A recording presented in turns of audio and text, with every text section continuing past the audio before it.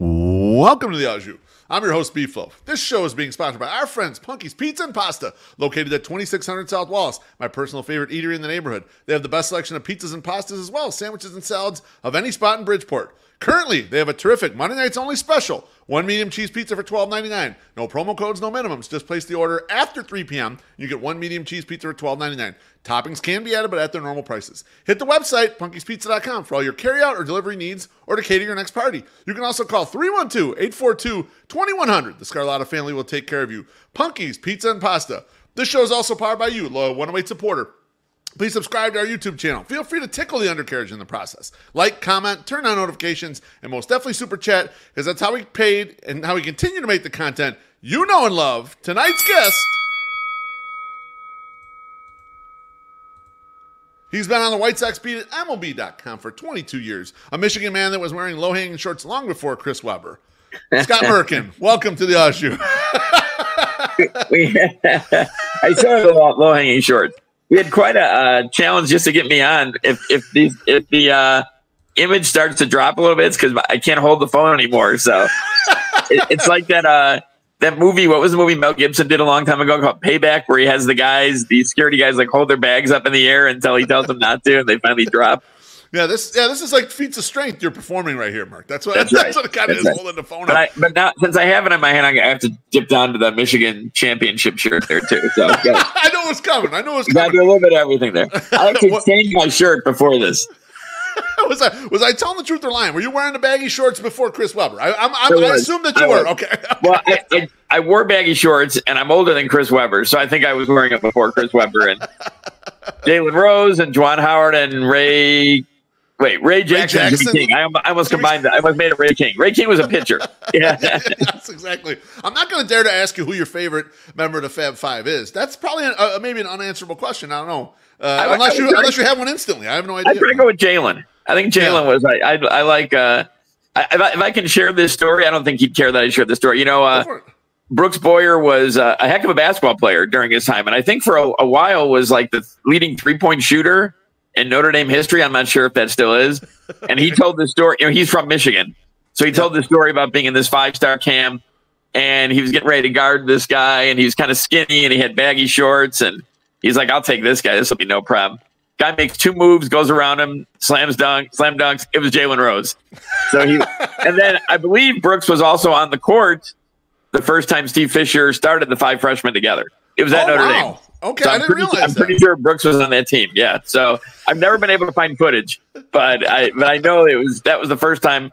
I think Ray Jackson was the last of the five to start, so that was the first right. time all five were together in the same lineup.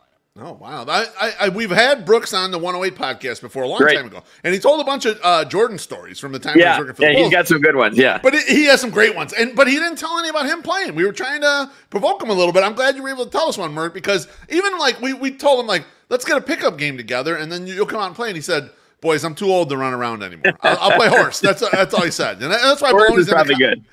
Baloney's in says, "Give me Brooks Boyer versus Loaf stop sign basketball." He, I mean, he's got the size advantage over me, and he's a much better shooter than I am. So I'm probably struggling that. In that I'm sure he still got it, even though he's been in the corporate world for how many years now? Thirty years, something like yeah. that. I'm sure he still got that shot.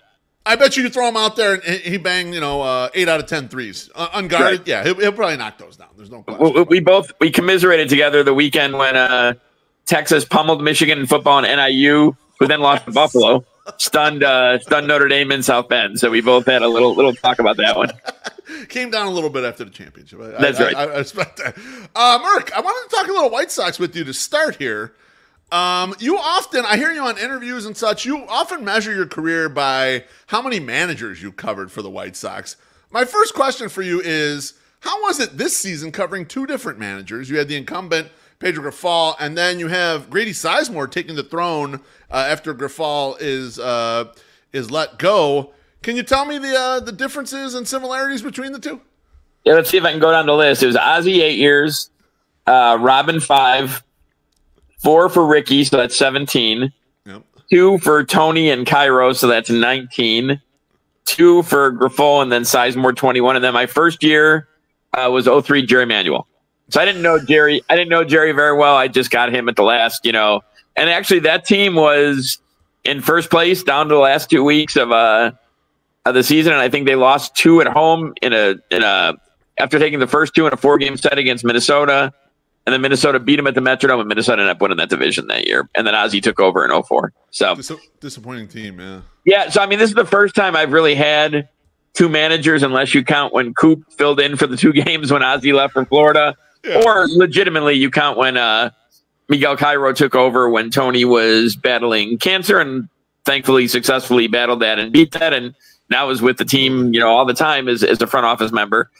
And uh, it's interesting, different people, different perspective, different times of season. You know, I, like Pedro. I don't know if I ever really got to know Pedro all that great. I mean, I knew him from covering him for two years and you know what 120 games it wasn't get to 120 this year. We had our ups and downs. We you know like everyone does there were some disagreements along the way. Um, i think grady has added a little bit of a morale boost and i'm not sure if that was pedro's fault that it had dropped a little bit because of the fact that they were losing all the time. You know they i mean when he was let go it was in a what 1 and 22 stretch right? And they had just finished yeah. excuse me, the 21 game losing streak. So, you know, morale's not going to be great if you're lo- unless you start with a 40 game winning streak and then lose 21 in a row. Right. Morale ain't going to be good when you lose 20, no matter what. How, and the clubhouse is very good, but that's that's another question. But yeah, I like them both. I mean, I, I the only way I knew I covered Grady, believe it or not, I covered Grady in 05. Okay, big yeah, thorn, in, yeah, yeah, big thorn in the side of the White Sox that year. Such and, a good uh, player, such a good yeah, player before he got uh, hurt, especially those like three years with Cleveland. You know, it's funny. Yeah when he got hired, a lot of people talked about, oh, he played 162 games three straight years. And I think there's a certain level of respect from the players among that, that like he's been there, he's done this, he gets it, he gets the day to day stuff. Right. And I think he's really been more about, you know, he wants to win. He doesn't go out there saying, well, geez, let's flip a coin and I hope we come out on top. And he's managing to win, but I think he's also managing to see what guys can do. And let's be honest, this was a really bad team, and they traded six guys at the deadline, right? Who were contributing. So you can't exactly. expect from that point on they're going to go like, you know, 30 and 10 after that. Now, it's no excuse. I mean, my argument, and we've talked about this quite a bit in the press box, is we get they were kind of designed to not be great this year, but I don't know why they had to be historically bad. You know, that that's the question exactly. that needs to be answered and needs to be answered by Chris and Jerry and Josh Barfield and Gene Watson and Jin Wong and Brian Bannister. I could list the whole front office next time. Uh, going into 25 because you don't want anything near this again next year. This was this is bad. It's bad when national media who are great. It's great when they come out to cover the team, but not they're coming out to the team saying, "Oh, I may have to stay another couple days because they didn't lose." You know, I mean, so that, right. that's not what you want your team to be known for. And and you know what, front office people and manager and I'm sorry, and players and former players have talked about that, about how they believe in Chris, but they have to get to this point where people come to say, we're going to the Sox to win. Right. Not hoping we have a chance, but going there to win and going there to get better. So to make a long answer, too late, short now, but I like, I knew Grady from a player. I knew Grady from one interview I did with him in the off season. Actually, he was with his kids at a soccer game when I interviewed oh, him nice. in the off season. And I knew him from seeing him around the clubhouse, you know, when he was a major league coach but really got to know him a little better. Did a one on one with him recently, and you know, a, a good dude, a competitor, and I think would do a good job if he were given this job. I'm not sure if that's going to happen past the interim stage, but yeah, I, I think it's a different thing. I think Pedro, you know, it got to the point where you almost had to defend your work and defend your appearance as a manager, not physical, but you know, as yeah. a manager. And it became almost more about, and I'm not casting aspersions because he's gone now.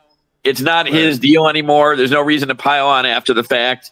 But I, I mean, I think this was also done wrong in that it was portrayed as anything but a rebuild. Right. And I'm not sure what if rebuilds are the thing anymore with the you know with the players so anti-tanking mm. and putting those rules in. So you know, I mean, I think White Sox fans would have a much different perspective if they were 36 and 126, but getting the first pick overall in next year's draft, right? Right. There'd be more excitement for sure. Right. Wouldn't, there wouldn't be this defe- as much. I mean, we'd be defeatist, but it wouldn't be as much, you know, because so, you'd be thinking, okay, we get something out of this. So I've enjoyed all the managers I've covered. I mean, like Jerry Manuel, I, I knew for one season, didn't really get. Ozzie was the best. Ozzie was just a character. I mean, just some of the things that you know we talked about and just joked about, and and it shouldn't be forgotten that he knows baseball inside and out too. He's a very yes. smart baseball guy. So but yeah, Pedro and Grady are different, but I think they're also different because it's different times of the year and different functions. You know, I, I pointed this out. Pedro was in the front office for I think like 10 years in like minor league directing role. And then he told this great story when he got hired the day of his press conference where he went to his family. He has three daughters, I want to say, and his wife, Allie, and said, I want to go for this dream, but this will change our family dynamic a little bit. I want to become a manager. And his daughters told him, You can't tell us to go for our dream if you won't go for yours. So go for it. So the guy you know, works 10 years to get his dream. First year on the job, he's 7 and 21 in April. So, I mean, you're really swimming upstream from that point on, right? And yeah. he's had, he had like two good runs in the two years that he was in charge. So I can understand. I will say the one different thing is he did something different than most managers post game. He spoke after the players. It's almost always manager first. Okay. It took a little while to get to him. It took about a half hour until he was ready. So I will say Grady is more expedient for the media. That's for sure. He gets he gets out there and gets it done. He's and when he says he's he says he's going pregame, he's going pregame. I mean, he's good. They're both you know good. I had a real good one on one with uh, Pedro the Wednesday that a lot of people thought he was going to go, which was the yeah. Wednesday before that road trip to Minnesota and Oakland where it went to 21 and they beat Oakland on a Tuesday night, I want to say. I think that's right. Yeah. And he was great. I talked to him about, you know, if he thought he was any good at the job he was doing. I talked to him about if he thought, you know, kind of knowing that a move was in the offing. Right. If if he left this job, would he be able to get another one? with this stay with him forever? And he gave great answers. So I mean, he was honest. I just think different personalities and different personalities sculpted by different times for the team too. Yeah, absolutely. I, I agree with you 100%, Scott, because there's different pressures when you're Grady popping in there after the thing is already blown up. Right. it's just like, well, you're, uh, you're just trying to make the best of a tough situation here. Whereas it was Pedro from the year before, and he's been dealing with this for a while. Yeah, that's yeah, it's totally understandable there. Let me get like, to a couple uh, drinks I, from I, the. I out real, real quick the other night. You know, there was what a uh, bases loaded situation. It was a lefty. Maybe it was Tanner Scott on the mound for the Padres, and Grady left Dominic Fletcher in. There, there weren't a lot of pinch hitting options. I think Moncada assuming they can use it. Uh, hitting right-handed. Yes. but you know, Dominic has been a great defensive player in the short time that he's been playing right regularly, and they want to see what he can do offensively. Now, I would argue you're not going to make a value judgment in 15 games on a guy for the entire next season. Just like there's always the warning of don't base someone's skill just on what they do in spring training. Right. But I can see where Grady is saying, okay, he may not, he may get this guy, he may not, but we got to see what he can do because he's going to be one of our guys for next year. Absolutely, yeah. You got to give him some rope here. Let me get to a right. couple drinks uh, from the from the uh, commenters. Senor Sachs, sure. thank you. He says uh, Pedro is a member of, of Hamas, allegedly. Uh, no, he, I don't think he is, uh, Senor. But thank you for the drink. I appreciate you. and then uh, my guy Baloney says, uh, please use the proceeds of tonight's super chats for a phone stand for Merkman. Gonna, gonna leave tonight with an arm worse than Benintendi. so we're looking out for you. Thank you, Peter. I appreciate. Yeah, I do need a. I do need. I don't. I'm trying. I'm looking at my place to try and find something to prop it up, and anything I can think of to prop up is gonna give like a weird look up at my nostrils. So I'm not gonna do that. yeah, well, you know, it's up to you, Merk. I, I don't know if you want uh, weird nostril. Look. Anyway. Uh, we, we, talked a little bit about the uh, the clubhouse there with, with discussion with uh, with Grady and, and Pedro. Right. Jeff Passan recently put out an article at ESPN where he portrayed sort of an upbeat tenor in the White Sox clubhouse. Is that kind of what you've noticed, Merk, from the players? Is that they're more upbeat than you think they would be for a team that's trending towards an all-time record of losses?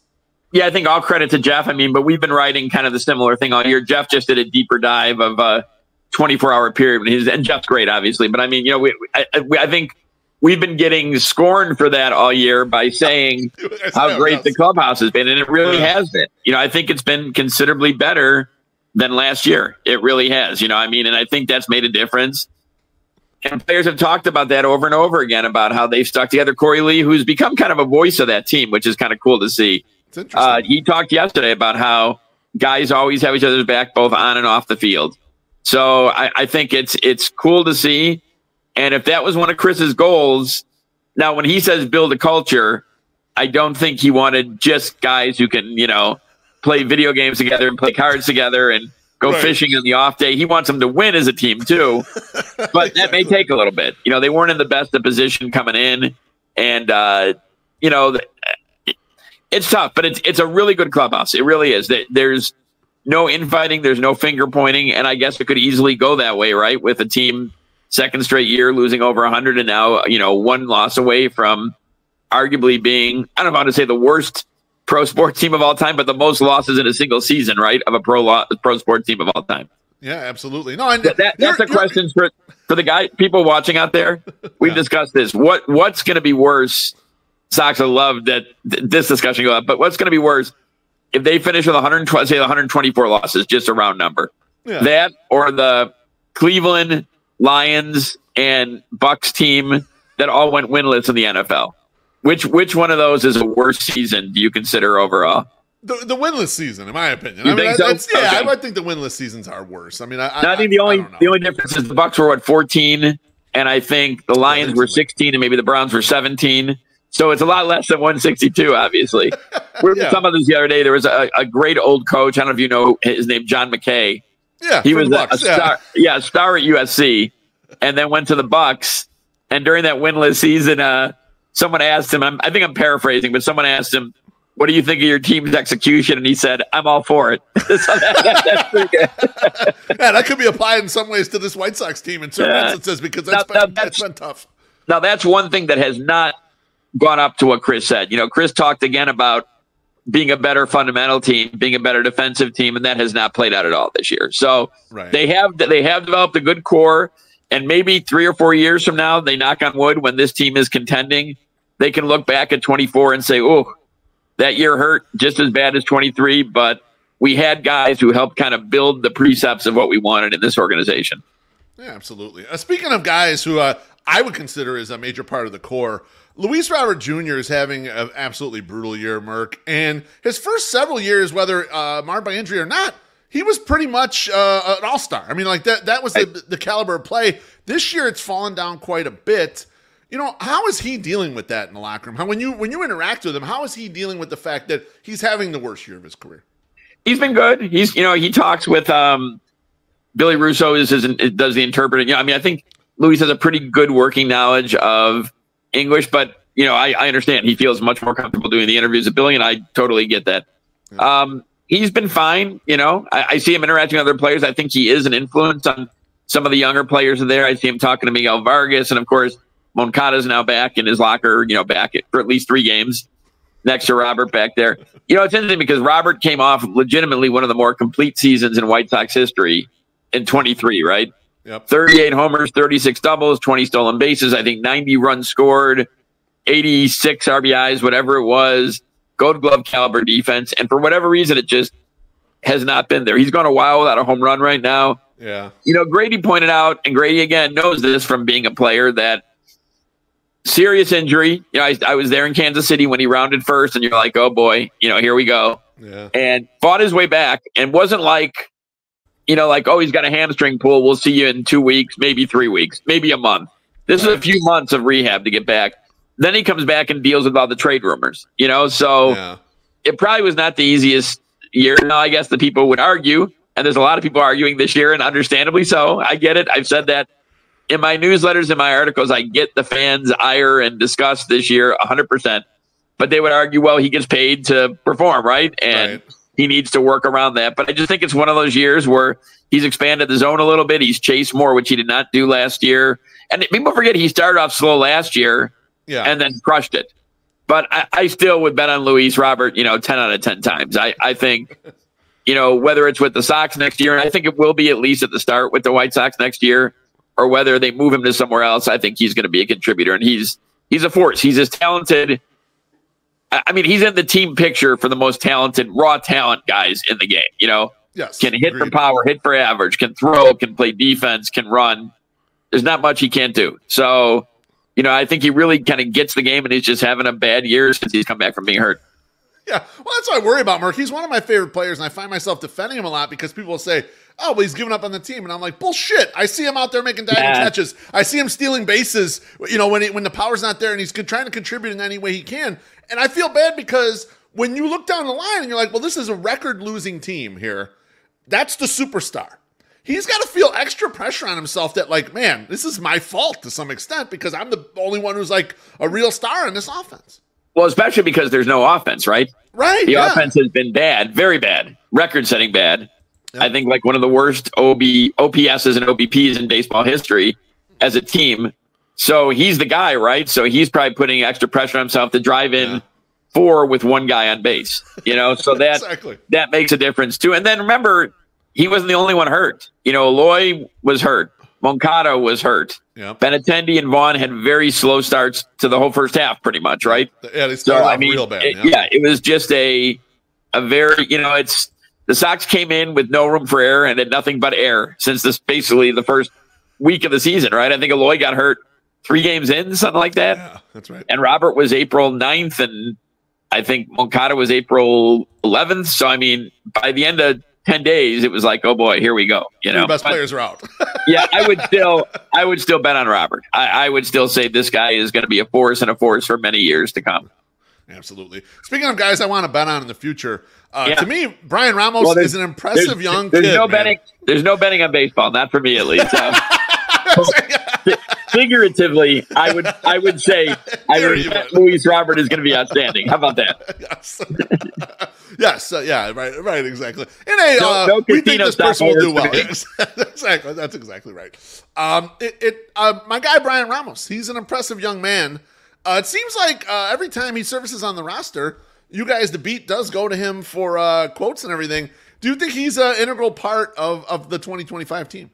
He has some great stories. I mean, you know, how he kind of worked to learn English. And uh, I was told by someone in the organization that one of the ways he helped or he picked up English was he listened to a rapper named Lil Baby, who I've never heard of before, but I looked up and there is someone named that who I'm sure makes a fortune doing what he's doing. And then the fact that he became a U.S., you know, he studied and became a U.S. citizen. Yeah. It was very cool. We talked to him and he told us that for the citizenship test, you needed seven out of 10 to become, to pass. And he paused and said, smiled and said, I got 10 out of 10. You know, so he was, you can tell he was very proud. Great kid, beloved throughout that organization, very highly respected. They have an interesting decision to make, though, because they have Vargas, who was the cornerstone of the trade, you know, the, the three player trade they acquired from the Dodgers, and Ramos, who are both third basemen. You have Colson Montgomery, who's right now a shortstop, 100%, but some people think maybe a, a third baseman at some point, certainly not a second baseman. Yep. So you got to figure out what you're going to do, right? You got to figure out you're going to. Both Vargas, now Vargas has played other positions. Ramos has done some pregame work in the outfield. Ramos has played second in the minors, so maybe you look at that. But see, now that would be my argument when they talk about, well, we can't play Moncada in the last couple of weeks because Vargas and Ramos are our future. And Moncada is well aware that the Sox, you know, they're not picking up. I'm not even going to make a comparison. They're not picking up this $25 million option. They're going to use the $5 million buyout and he'll become a free agent. When I talked to him with Billy the other day, he mentioned that he's got a lot of years left, but he has to wait until free agency starts to see what the next step is. Right. But if you're going to do that, why not play Ramos? Give him a couple games at second base. Just see or it, give yeah. him a game in left field just to see. Again, you don't want to, you know, crush the kid's confidence, but send him out there and just say, "Hey, whatever happens, we just want to see what you can do out there. Take the skills you've you've worked on and show us what you got." I mean, Andrew Vaughn played second base in a game in Kansas City. Andrew Vaughn became the out, a right fielder, having worked at um, what's it called, the satellite camp during the COVID year. Yeah, and then like three days after Eloy hurt himself at the end of spring training. So, I mean, that would be my argument is if you're going to use the guys now who are your future, then not, you know, just go willy nilly and like have Benintendi catch one day. But I mean, right. let Ramos try. Take a look, see a little yeah. bit of some of this stuff, you know. Like, Great. Grady has said he wants Vargas at third. So let Ramos move around a little bit and see what he can do because I think he's a great guy to have in that clubhouse. And I think he's going to hit for power too. I think, and I think he's, I think he's probably the better third baseman between him and Vargas right now. So we'll see what ends up coming out of that. But uh, yeah, I agree with you. He's he's a good guy to talk to. He's very pleasant, very upbeat. Just really seems to enjoy. Not that everyone else isn't either, but really seems to enjoy being a professional baseball player. I love it. I, yeah, I'm, I'm, enthused every time he's out on the field or whatever. He looks like he has great joy out there playing as well. So that's that's pretty cool. That, Just to tell you, so time so, so far the arm is doing okay. I'm worried about the elbow though. By the time we're done here. oh, I might have to pay for uh, for uh, some uh, medical bills with the elbow. That's right. right. We'll see how it goes. Uh, heading, you know, uh, Chris Getz has been extremely frank lately, talking about the team, the approach, heading into the offseason, everything. Merk, what do you expect uh, with regards to free agency, and what do you expect uh, with regards to additional shakeups potentially in the front office? Because Getz has been out here saying basically the tr- you know the truth is the way it lays, and it's pretty rare yeah. for a, a, a GM to do this. Yeah, I think that it bothered people the way it came out, but I I don't think it's anything that he hadn't said before. Really, I mean, I don't think anyone was like, "Well, they're going to lose 125," but man, I can't wait till they get in the Juan Soto sweepstakes. You know, I, I don't think that was happening. You know, so I, I think they're gonna they'll have to add some people, but I think it'll be kind of what they added last year too. I don't, I don't know if they'll even be to, to use a comparison to like another rebuild in town. I don't even know if it'll be like when Edwin Jackson signed with the, the Cubs. I don't think you'll even see something of that level. Okay. But you look across, you know, the AL Central and you see the Royals switching hands here, by the way, who, uh, you know, who spend very wisely this offseason, did not go crazy, but added a lot of key pieces. Now they've kind of faded down the stretch a little bit, but they were great. I think they missed Pasquantino, who yeah. got hurt. But I mean, Wacha, um, Lugo is probably going to be, you know, uh, get Cy Young consideration. Yep. The guy they traded for from Oakland, even adding Gurriel, Tommy Pham has been a nice addition. So you don't have to go out and spend three hundred million dollars to make yourself a good team. You just got to identify the guys who are going to fit. With that said, I'm not even sure the Sox are going to do that.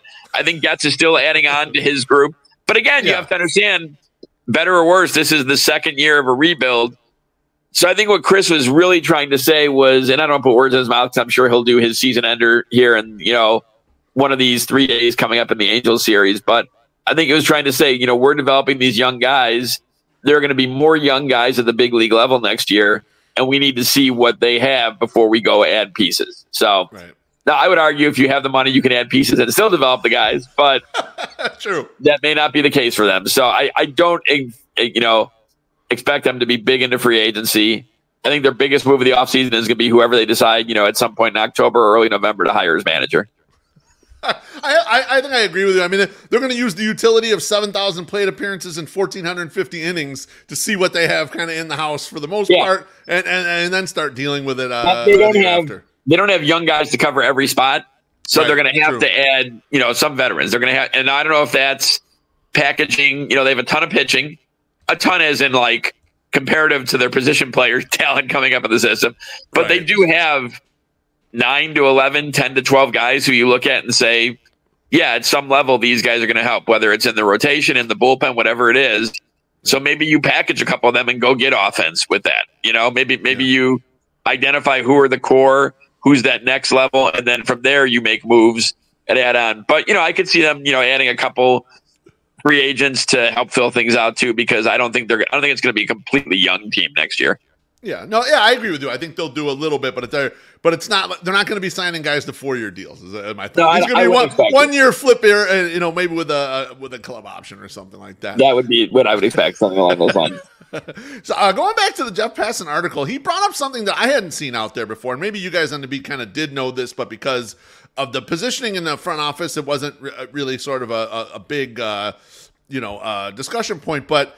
Uh, the White Sox brought in former Navy SEAL Brian Mahler into the uh, into the yeah. organization.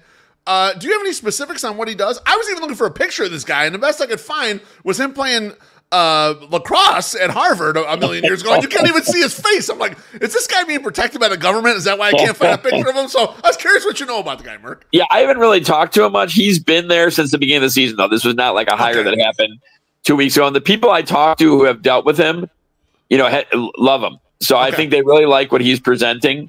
You know, I, I, think he's part of the whole process to kind of reconfigure this. And Chris has talked about this, and Chris has talked about building better infrastructure and just building a, a way, you know, top to bottom. But here's the thing: like, I, I think Brian was a good hire. Like I said, the people who I've talked to him have worked with him and know him far better than me.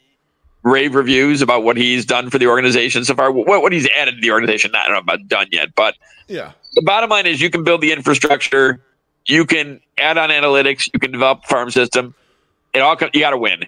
I, I, Sox fans have just dealt with way. You know, I will tell. I've told this story thirty times. I'll tell it thirty-one. But you know, I was there when Yoan Moncada made his debut for the White Sox in the last rebuild and had like a six pitch at bat and fouled the pitch off and got a standing ovation. I was there when I was given the ovation. I was yeah, I was in the house. I'm sure. I'm sure you were. I was there when uh, Michael Kopech was announced on Twitter on a Sunday that he was starting on a Tuesday, and people went nuts. Fans deserve a ton. They embrace every step of that rebuild, and they got two playoff wins out of the whole thing. Yeah. So you can talk infrastructure, you can talk building, you can talk developing, you can talk improving everything. ultimately you got to put it at the top of your chart and circle it. I just made a circle motion. You can't see it on here though. Um, how do we win? How do we win and how do we win consistently? And I think Sox fans would even take win for a year at this point, right? It, it, I mean, I, I, don't. I think if you told Sox fans you're going to lose 125, but you're going to make the LCS the next year, I think they'd be okay with that. 100%. You know, I think a lot of fans would be okay with that actually, probably. But but yeah, that's the thing. It's all great to have a plan, but you got to execute that plan and execute it to the point of winning and winning consistently. totally agree. We, we talked a little bit about Grady earlier. Were you surprised how candid he was about Yoan Moncada's situation and with regards to uh, Ramos and Vargas? Because speaking of this team, like Getz has been talking very frankly, and to me, Grady was extremely frank about how that was going to work. He did not like do the old PR thing where he tried to talk around it. He basically said, "Look, Moncada's going to sit. These guys are going to play. We'll see if we can get Moncada in there." I mean, I, I, wasn't that surprised by that. I was more surprised by how frank Moncada was when I talked to him with Billy on Friday in San Diego. okay. He was yeah, basically yeah, saying, that. like, you know, I was hurt. I thought I'd be back to playing when I came here, and it's not. I don't really know what they want, but, you know, it's not my call, and I'm just here. So I, I, I, I know he probably did not expect to come in there and what was he back for? He's back for the road trip, right? So, yeah. what was that, like 15 games total? Yeah, like 15 games. So I assume he didn't expect he was going to get 60 at bats in those 15 games. Right. But I also don't think he expected to get one pinch running appearance and one, you know, ensuing it back because he stayed in the game. So I was more yeah. surprised by how direct Moncada was. You know, he was he wasn't yeah. you know in their face, but he was kind of like, yeah, I don't get it. You know, I mean, but he yeah. was also saying it's not my decision. So I'm just here to do what they asked me to do, pretty much. But there was no. In your interview, Merk, there was a, a level of disappointment. He's disappointed yeah. not being out there to play, even though the team is bad or whatever. He wants to be out there to contribute. It's obvious, you know. I would say this: I get that you know it took a while to, for him to come back from his injury. His injury was not you know a mild one. I mean, you saw the replays that he was. Yeah. Doubled over and you know on the ground, not even doubled over. He was on the ground in pain in Cleveland when he hurt himself running to first base. Ultimately, it's a player who knows how he feels, and if he says he's not ready, then you got to go with the player. But I'll go back to the same thing. I totally get that Vargas and Ramos and uh, maybe even Amaya, who's playing short, are part of the future. Fletcher and Wright. But again, I think we're talking, you know, 15 games. Now we're talking six games. So if, if this happened like with 60 games left, I could see where they would say, well, he's not going to play a lot because we got to get. I mean, it's it's 15 games, nine games, 12 games, six games. But again, not my call. You know, I'm not the GM nor am I the manager of that team. So I trust what they're doing. And even Moncada said not even his call. So he's just going with what he's got. Yeah. Well, that's uh, yeah, that's that's understandable. You mentioned it previously that you thought probably the big uh, move this offseason is going to be the White Sox uh, in the manager search. Uh, question for you: uh, How quickly do you expect Getz to hire the person, and then who do you what do you expect in the candidate? Is there anything in particular you're thinking about, like that they they seem to want or that they want to bring in? I really have not heard a ton. I, I've heard that it will be someone you know a little bit more analytically inclined, but I think Pedro was analytically inclined when he came in. You know, right? Yeah. So, and Tony, in his own way, kind of helped develop analytics. Right when he was the manager of Oakland, yeah, yeah way back when, right. yeah. You know, I mean, using certain guys for certain roles and that kind of thing. So yeah. I think that has something to do with it. But I don't, I don't have a, I don't have a gut feeling. It's been very quiet. Now I don't know if they're just putting a list together, checking with everyone they know to make sure they get the right candidates and then once the season ends Sunday, they really go hard after it and you know try and get it done in the next three or four weeks. I think Pedro was hired. I want to say like November second, so it could That's take right, the entirety of October. I mean, Skip Schumaker has connections to Tony La Russa from his playing days. Right. It appears he's not going to stay in Florida. It also appears he's going to be a very popular candidate. So does he want to go? The Reds just dumped their manager too. So you right. know, I mean, there's other jobs that are going to be available. You know, does he want to go from Florida, which was a brutal situation, to the White Sox, which doesn't look a ton better right now? So you know, although both teams have some players coming, so that that's the question. But yeah, I don't. I wish I could give you like four names that I know, but I, you know, I've heard more that guys who probably aren't going to be it than guys who are going to be definitely in the running for it so far. It's interesting. Now, there's no rules against them hiring during the playoffs, is there, Merk? Like they they can. I think it's just not the uh, World Series week or, or like what right, are the, kind of they, the blackout restrictions? Yeah, I think they don't usually do it like LCS or World Series, but you can okay. do it I think on the off days and that kind of thing. Understandably, baseball likes its focus to be on the main the crown jewels when it comes, right? So Absolutely. I don't even know if there's like an official rule on that. I think teams just don't do it usually. Makes sense. Uh, does Garrett Crochet get traded this offseason, Mark? Uh, wow, that's a great question. um, you know, I would say, in my opinion, you don't because man, if you have Garrett Crochet and Hagen Smith, and you have uh, Noah Schultz and Jonathan Cannon and Sean Burke and Davis Martin, you got a pretty young, pretty good crew there. You do. The problem is though, you know that it looks like Garrett is going to probably end up wanting to go to free agency, which is understandable. He had a great first year as a starting pitcher, probably going to even get better. So, are you going to be good in the two years of control you have him? And if not, is that another way by trading Garrett? You know, they had some really good offers that I heard and some good interest in right down to the wire. They just couldn't get the complete package that they wanted. So, is that a way to, you know, improve your offense by trading for guys there, by trading Garrett Crochet? It, it, it's tough because, man, you're trading Garrett Crochet to find Garrett Crochet, basically, right? Yeah, exactly. I mean, yeah, you're hoping you you have another Garrett Crochet come along to right. lead the staff is right. what you're hoping for, right? I mean, he's he's tremendous. He's had he's you know, I think if the team was better, not even like good, just better, he'd be looked at as one of the better. I mean, we have there's two pitching stories in Chicago overall, uh, Crochet and Imanaga, who have been two of the better stories in baseball this year, right? I mean, Absolutely. they've been phenomenal. They've been phenomenal. So, you know, I think he's going to end up going though. I, I think he will, but I think it's not a slam dunk because he's just he means so much, and he really works with the younger hitters, and he's uh, you know, he he's a he's a good guy. He, he's a good guy in the clubhouse, and just a uh, sorry, someone's calling me, and uh, and just a uh, and I see him a lot of times talking with Cannon. I see him talking with um, what am I? I'm blanking on his name. The guy that got. Why am I blanking on the pitcher from San Diego who had uh, surgery? Drew, uh, Drew Thorpe. Drew Thorpe. Oh my God! Uh, I think my arm is like my arms are so sore that I'm I'm losing focus. We're almost there. We're almost there. They're all. You know, you see, I'm talking a lot. So abundantly beneficial to keep Garrett Crochet, but they have to weigh the cost of you know if you're just going to have him for two years, does it make more sense to get more for him now? So that that's. Right one of the many, many decisions Chris in the front office will have to encounter. Absolutely. Uh, do they trade uh, Luis Robert Jr. this offseason?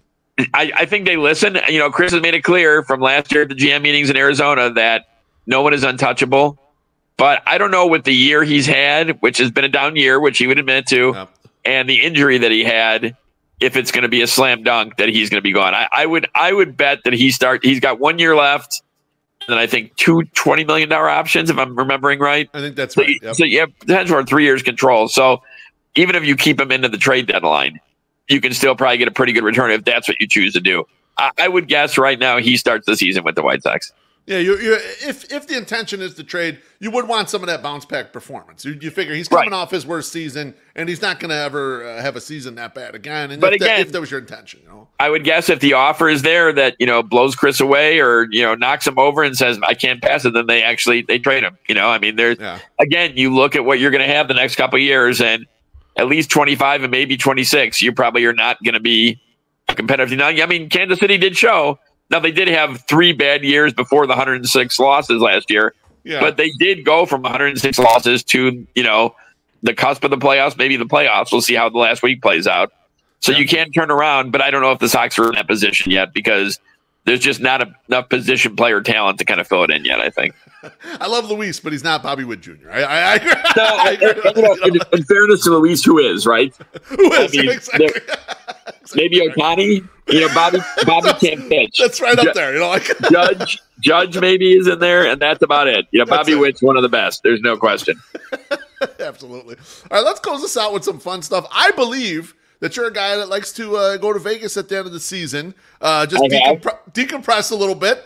Uh, where are some of your favorite places to stay, Merk, uh, when you're in Vegas? I'm a Vegas guy too. I like going out to Vegas. It's a it's a fun time. So, where, well, so like my my cousins, my dad's brother Sadly, they're both they're both not with us anymore. My dad and his brother, my uncle Al, uh, was a pediatrician out there for sixty years. So I've been going there since I was a young kid. You know, oh, okay. I I wasn't there the whole time he was a pediatrician, obviously, but you know, I've been going there where you went to shows and it was tipping the croupier to get the good seats, not Ticketmaster. So right, I've stayed at pretty much every hotel, but now, as most baseball writers do, I have a ton of Marriott points. So I stay a lot at this one called the Marriott Chateau, which is kind of like a, a, timeshare hotel combo right next to Planet Hollywood. But here's okay. the interesting thing. I don't know if people know this. I'll provide a little information. Almost half the hotels on the strip are now owned by Marriott. Really? So like uh what you call it, Bellagio is Marriott, MGM is Marriott, Mandalay Bay is Marriott. If you want to stay Luxor or Excalibur, good luck to you. They're, they're Marriott. So um, a lot of options now. So I, I've stayed pretty much. There's almost there's very few hotels. If I haven't stayed there, I've pretty much chosen not to stay there. I think so. That's been on your own. Yeah. Caesars is great. Caesars is great for Old World Vegas. Yeah. Love Mandalay Bay. When I was younger, I used to stay at the Luxor a decent amount. I used to get a lot of upgrades there, so I like that one. Yeah. But but now it's more the Marriott part. There's a Marriott that I stay at, which uh, people don't get. But I stay. It's in uh, Summerlin. It's okay. at the Rampart Casino. It's a it's a resort. Now it's a little ways away. People, I think, when they think Vegas, they're like, you got to stay on the Strip, right? So no one gets that one. But that's that's right. another one I've stayed at. But now with so many options, I have to be able to find one on the Strip when I go out there. I love it. I didn't realize that. I didn't realize Marriott was the, the kind of the backing hotel chain of the of the. Uh, the, like the uh, the MGM uh, property. It uh, just it just became that like at some point this past year. Okay, all right. So it was not that very long. It was you know there were always Marriott properties out there. You know you can stay at the Residence in two blocks from the football stadium or whatever if you want to do that. But yeah. um, now a lot of the main hotels have joined the Marriott Starwood chain there. Okay, interesting. Uh, machines or table games, Mark? If it's machines, it's video poker. Um, what, any, any particular varietal of video poker that you like? No, you know, I like the basic one, maybe with the caveat of being able to double. They used to have that where if you win, yeah, you can you can, you you can play high low to double it. Yes. Of course, you win like you get a full house and you win something good, and then you double it and you lose, then you're pissed at yourself, right? yeah, but exactly. the the like ten play or fifty play is almost too much for me at this point. I will tell you this: like this that's what I like, Mark. I like I like the ten play, and I like double super times pay. So I like that, and, or or Ultimate X. But I feel like I lose my money fast at Ultimate X. That's a and I've seen it. So Samina, you win a lot, right? You I win some stuff. Time. I win occasionally. Yeah. yeah, I win some stuff. Yeah. So I'll tell you a quick story. I was in Reno for my cousin Sarah's bat mitzvah. This was in 09, I think. Okay. And I, it was in the off season, so I stayed an extra day. I'd never been to Reno. So I'm playing blackjack at Harrah's for like an hour. I win 20 bucks and I'm like, I'm not going home up 20 bucks. I'm, I'm going to play this and see what yeah. I can do. So I go to one of those um, slot machines sing throughout the state of Nevada. The jackpot's like 13 million. I'm like, this is going to be great. I'm going to tell all my friends how I played 20 bucks and won 13 million. So I play slots. I don't like slots. They're mind numbing. I don't even get how you win on it. It's no longer the, you know, the cherries and the bells and right. whatever. It's a whole bunch of things. It's not the reels. So I, it's all this other shit. Exactly. Yeah, yeah. I get up like 160 bucks and I'm like, okay, I'm going to play down to 100 and then go home 100 hour winner. Get down to 130, play it. Lights and bells start going off. It's going crazy. I know it's not the ultimate jackpot, but I'm thinking, what did I win? I think I won 2,900 hours. Holy moly! So nice. pretty cool. so but I said now, off 20 bucks. 2,900 is too low to get a check, so they gave me 2,900 dollar bills. So I'm walking back to my hotel, literally with my hand on my wallet in my pocket, like. I might as well have yelled at everyone, "Hey, I have twenty nine hundred dollar bills in my wallet. Come stop by. come get me. Come find me." exactly. I love it. Uh, Merk, what about uh, what about dinner spots? Where uh, where do you like to eat when you're in Vegas? Vegas. A lot of people who don't go to Vegas a lot don't know they have like uh, the most world class restaurants anywhere on earth. Vegas is. I always say now Vegas is so different from when I was like a young kid there, where I couldn't really do anything anyways. But you know now it's like if you want to go and have a bachelor party weekend there and get a little wild, you can. You want to go and see sporting events and play golf, you can. You want to go with your wife or girlfriend and have dinner and see shows, you can. Or you want to go with your family, you can. There's really something for everyone. I should work for the Vegas Tourist Bureau. uh, I love Sinatra. At uh, I can't think where it's. I want to say Venetian or Palazzo. Is that the other? that's the one attached to the Venetian? I think. Yeah, yeah. yeah it's Encore yeah. and Wynn, so it's yeah Venetian and Palazzo. Yep. I think it's at the Palazzo. It's great. I love the Rat Pack. I'm a big fan of the Rat nice. Pack. Love it. So there's a lot of cool stuff in there. The food's really good there. Delmonico's, which is a Emeril Lagasse place over the Venetian, yep. that's really good. I'm trying to think of any other places. I mean, really, there's nothing bad there, you know. I mean, I was gonna say there's I've great restaurants of, everywhere you walk. yeah, like every hotel, whether it's five star or three star, has a steakhouse and some sort of sushi place the buffets are much less prevalent now after COVID, but yeah, Sinatra was my. Fa- I love Sinatra. It's my favorite restaurant out there. I think. Beautiful. I have to try it. I I used to go to Carne Vino when it was in Palazzo, but that, that closed down. Okay. I used to like that place a lot. Currently, I like Amalfi in, in Caesars. Uh, I've heard of that, one place. too. Yeah, I've heard of that. they have one in Caesars called Grand Lux Cafe. Have you ever been? No, I'm kidding. I'm kidding. I, I, have been to Grand Lux Cafe, but yeah, no, that's. that's I'm right. sure you could talk to ten people and get ten different recommendations for restaurants in Vegas. You know, that's why I wanted to bring it up because I, I feel like it's such a, a vast uh, pool of restaurants, and, and right. everyone likes a little right. bit of something different. So, uh, well, Merk, thanks for sharing your thoughts on White Sox managers and my pleasure. The near future of the organization and Vegas, baby, Vegas. We ain't trying to be right on this show. We're just trying to understand. Anything you want to plug before you go? No, I mean, you know, you can find me at Scott Merkin on Twitter. More importantly, at WhiteSox.com and MLB.com. I want to close with a quick story. I was walking back from the ballpark last night, going to get an Uber to my hotel, which is a little bit off the Gaslamp area there. What a great area, by the way. What a great ballpark. Oh, awesome. San Diego. And there were like four or five White Sox fans walking towards me wearing jerseys. And I don't know if I knew the guy and just didn't recognize him or he knew me. And he just looked at me and he goes, It's almost over, Merk. It's almost over. hey, I mean, you know, I know it, it can get worse, but I feel like this is it. And it's incumbent on Chris and everyone else to not let it come close to this again with the White Sox. I absolutely agree, and hope and uh, fingers crossed that they they do that job and take it seriously. exactly. take care, Merk. Thanks for coming on. I appreciate you. Anytime. Thank you. You got it. That was Scott Merkin. That was great. that was terrific. Uh, next week's guest, uh, I'm going to have on someone uh, that I've been a fan of for a long time. I, I uh, subscribe to his newsletter, and that's Joe Sheehan. Uh, he's going to come on here. He was one of the people that uh, predicted the White Sox having kind of a rough year. He predicted 54 and 108. He was a longtime baseball prospectus, Sports Illustrated. Now he has Joe Sheehan newsletter. Uh, just a, a legend uh, in the content game, the baseball content game. I'm really excited to have him on next week. Uh, that should be a lot of fun. I want to thank Punky's Pizza and Pasta and all the 108 families up in the YouTube comments. Appreciate you smashing the like button, comments, and of course, drinks and tips. Uh, we'll see you next Monday with Joe Sheehan. And uh, make sure you show up for the 108 podcast Thursday night. We need you there, baby. Love you. Bye bye.